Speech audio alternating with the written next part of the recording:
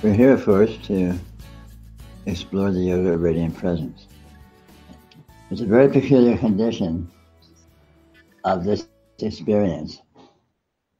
It presents as if it was two worlds simultaneously.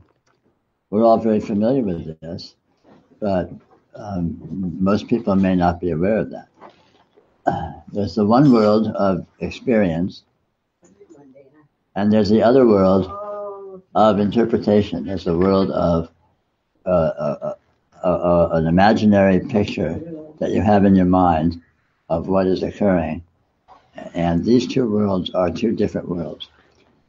They are related, but they are not the same. They are fundamentally. For example, people carry around a picture of a fixed objective world that is stable and doesn't move.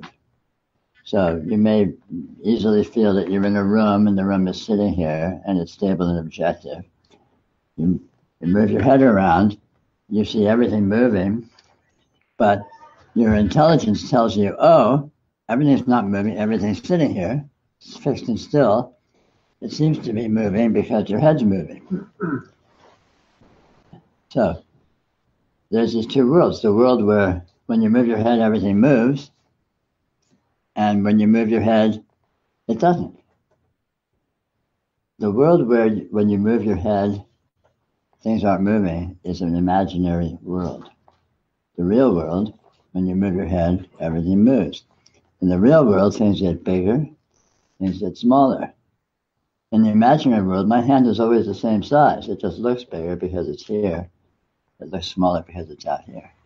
Now, the way we've all been um, trained, indoctrinated, most people think of these two worlds as being the same. They aren't aware that there's two worlds. They, these two these two perspectives are superimposed and held to be the same thing, which is fine as far as bumbling your way through life. It works out all right, but it's useless as far as discovering what you actually are, what this actually is. So for spirituality, the imaginary world is a world of delusion. The conceptual uh-huh. world is a world of delusion. The interpretive world is a world of delusion. The world where the room sits still and doesn't move does not exist. It only exists as a fantasy in your imagination, if you're holding it there.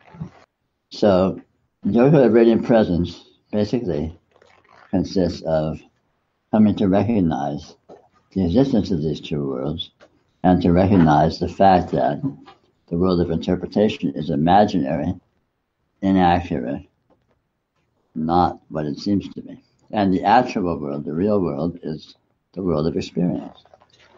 This can be intricate to explore because of the depth of our and lifelong duration of our indoctrination into living in this interpreted world. We're really, really good at it.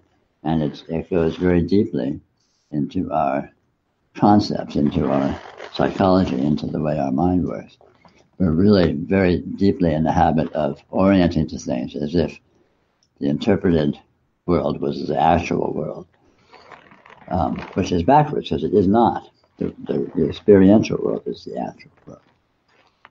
So the practice of yoga radiant presence consists of noticing the nature of the actual world, the nature of experience, and noticing that it, the ways in which it does not correspond to the imaginary world, the interpreted world.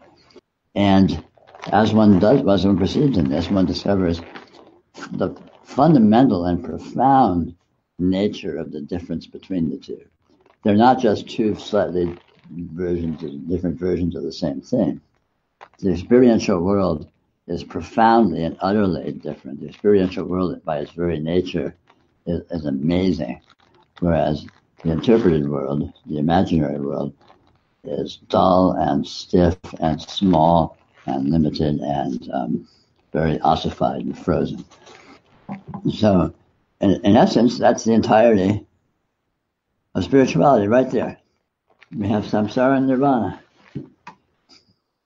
The interpreted imaginary world and the real world of actual presence, the actual world of radiant presence.